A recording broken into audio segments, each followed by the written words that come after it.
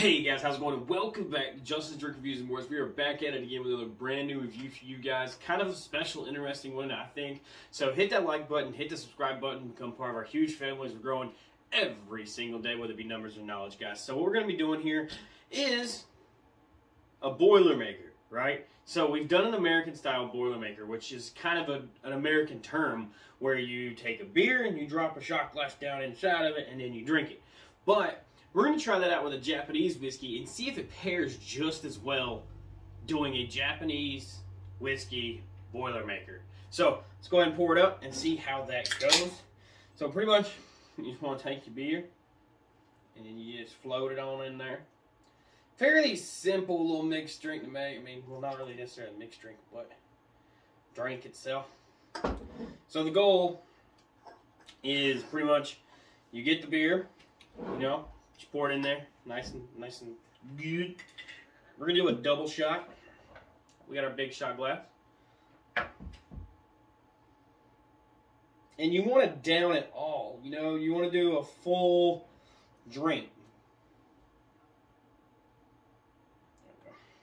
You want it to be like a chug, right? You don't want it to just kind of be like a sip. You want to drop it in there and down it, all right? So we're using the Harazaki um, fine Japanese whiskey at about 40% alcohol, and then obviously we got ourselves Miller Lite. Um, but nonetheless, so we have our full shot glass here, and then what you're gonna want to do is you take it, easy Boilermaker right here. You just drop it down in there.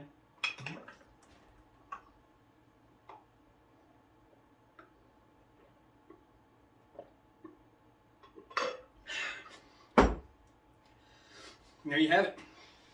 Japanese Boilermaker. Taste wise, I kind of like it better than an American bourbon, not gonna lie.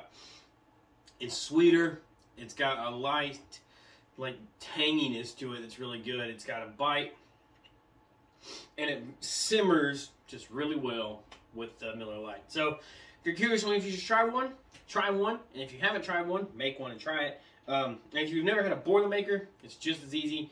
If you want a regular bourbon, and whatever beer you enjoy, drop you a shot in it, down it, and you've nailed it, guys. I hope you enjoyed the review.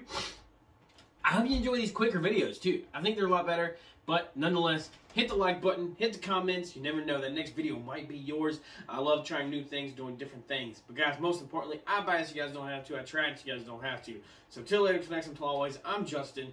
Welcome to the lives. Welcome to the videos. And I can't wait to see you guys tomorrow with another brand new Remnant from the Ashes, week three of our playthrough, guys. I'm excited, and I can't wait to jump back into that game. So I love you guys. Y'all have a great night, and I will see you guys tomorrow.